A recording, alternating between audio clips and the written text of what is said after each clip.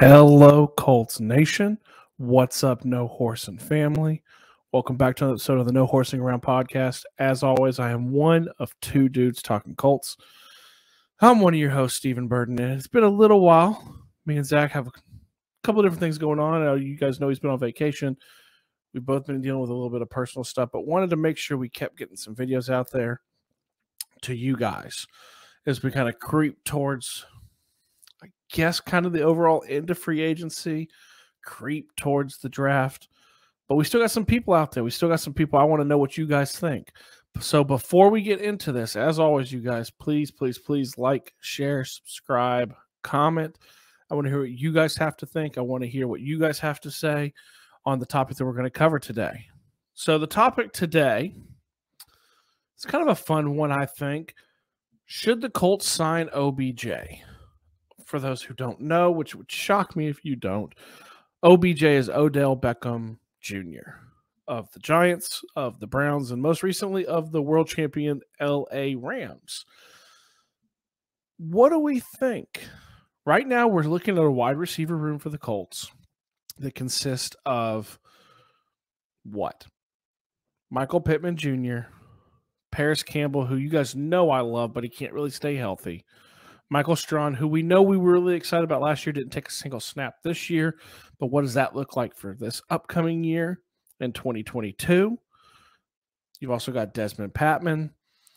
You're banking on a lot of young wideouts because the other part, too, is we know from what we have heard, we believe that the Colts have an offer out there for Jarvis Landry, but he's debating whether to take it. So you have that, and then you have a lot of really talented young wide receivers in the draft this season, but you're going to bank a lot on them. So you do need some sort of veteran presence in that locker room. Is it a T.Y. Hilton? We've talked about that. Is it a Julio? We've talked about that. Let's float out OBJ, you guys. Let's talk about OBJ. OBJ, uber talented wide receiver, an amazing talent. I mean, you're talking to start his career with the Rams or not with the Rams, I'm sorry, with the Giants, three straight 1300 yard plus seasons and 10 touch 10 plus touchdowns each one of those seasons. Then he got hurt, then he had another 1000 yard season. Then he went to Cleveland and had another 1000 yard season. and then last year was kind of this weird debacle. You know, in 2020 he didn't have a great season with the with the Browns. Then he went to the Rams, kind of resurgent. I mean, God, I mean, what, five touchdowns? In only seven games. I mean, it was an, was kind of this resurgent, but we also know he was on the tail end of his contract. He's been a little bit more injury prone. Remember that he broke his leg when he was with the Giants. He tore one of his ACLs and one of his knees with the Cleveland Browns. He tore the other one in the Super Bowl. That's the catch, you guys. In the Super Bowl with the Rams, which he had a touchdown, and he looked like he was probably going to have 100 yards, have a great game he tore his other ACL. So what do we think? This the, that's the talent on the field. He's a very talented player. He's a little injury prone lately. There's no way he starts the season. He's he's kind of a get him back maybe in November for a playoff push. Uh, December, kind of down the stretch, going into the playoffs. I don't think he'll be ready. I know it's an ACL. Hit me in the comments if you guys have a better idea of the time frame. But you're talking he tore it at the last possible moment, really. You know, he tore it in the Super Bowl, the last game of the season, and he's out. So he's rehabbing, and some people might be waiting around seeing what does that look like? How's his rehab going? Uh, how's he progressing? And the Colts could be one of those teams. We know he loves the big market. He was in Cleveland, but he was in Cleveland because of Jarvis.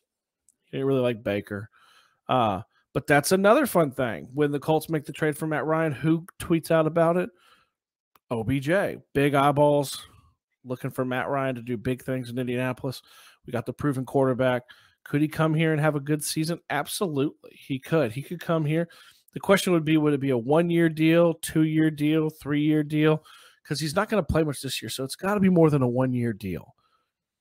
And then there's the big overarching question that everybody would have in regards to OBJ. He's the epitome of what a diva receiver has become. Now, he kept it together really well in Cleveland. It wasn't him that released the video, it was his dad. you know, he never really complained publicly. He did a lot of that kind of early on in his career with the Giants, a lot of proposing to the net and crying and the Josh Norman stuff where he went head to head with him and kind of got suspended, I believe. Correct me if I'm wrong. Uh kind of straightened up a little bit lately. Loved being in LA, I believe. I really think he loves being in LA. I think he loves being loved by them. Uh, I was listening this afternoon and they were talking about him. And one of the things they talked about is he wants to be loved he wants to be shown the love, not necessarily the money, but the love. Hey, we want you. And I don't know if Ballard's that guy, but could he have a great impact on this? Yeah. I mean, you line him up. I mean, th- think about the lineup of potentially, let's say without the injuries. Michael Pittman Jr. on the outside, OBJ on the outside, Parris Campbell in the slot, Nyheim Hines coming out of the backfield to make receptions, Mo Alie-Cox.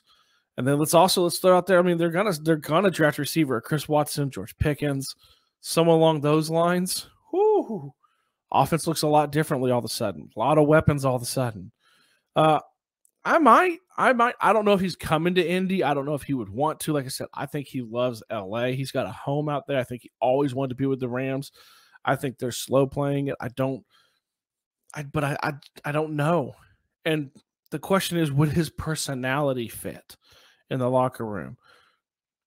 Man, at this point, like you need some weapons, you need some proven weapons, and the wide receiver free agent class is dwindling. Do you take a flyer on OBJ? I want to hear what you guys have to say. Do you guys think we should take a flyer on OBJ? Do you think that we should go a two year deal, see how he recovers? And then in that meantime, you can get a look at Michael Strachan. You can get a look at Dezmon Patmon. You can get a look at maybe a Chris Watson or a George Pickens the young wideouts that they want to draft. You can get an idea what that looks like. But the dude is uber talented and he wouldn't do anything but help the offense. So I want to hear what you guys have to say. I want to hear if you guys think the Colts should sign Odell Beckham Jr. Okay. As always, you guys, please like, share, subscribe, comment. We have felt the love this offseason from you guys. I know it's been a weird offseason. It's been a very quiet offseason. There's not been a lot of signings. As of today, 4 5 22, we signed the Chiefs safety. Not the one all of us wanted, but we did sign somebody.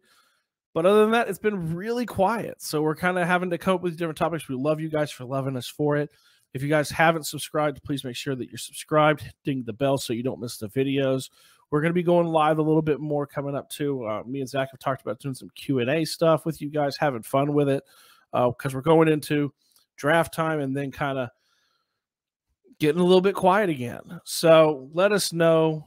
I want to hear from you guys. As always, you guys, I love you. I know Zach loves you. I'm out.